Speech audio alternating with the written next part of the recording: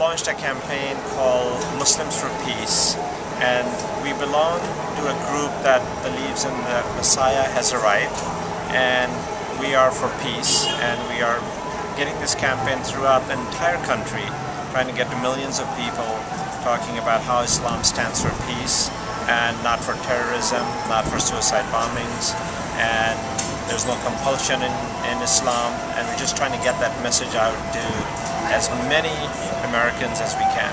There's like an education that has to happen within Islam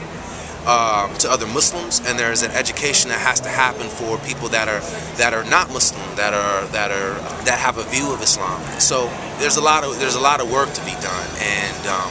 there's a lot of healing that needs to happen, you know, in our world, within and without the pale of Islam. Our idea is to continue to do this. We have uh, handed out about 100,000 flyers uh, over the last couple of weeks uh, throughout the country, and our expectation is to go up to several million. Uh, I think people are ready to hear about what does Islam truly stands for. There's so much fear about the terrorist Islam that I think people are now ready to talk about